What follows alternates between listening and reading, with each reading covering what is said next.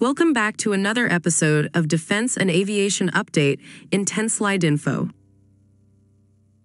Air threats are ever evolving, and each country needs a highly mobile and formidable anti air capability to effectively identify, deter, or neutralize airborne threats.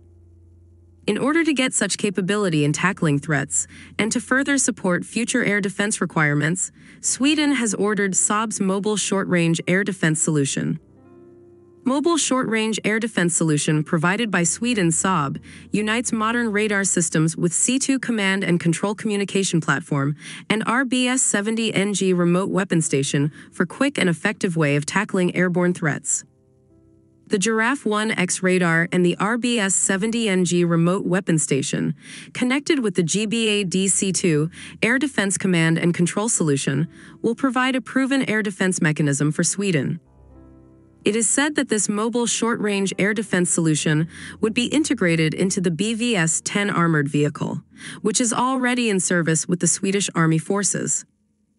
As per the defense sources, the delivery of this air defense solution from Saab would be happening from 2024 to 2026 tentatively.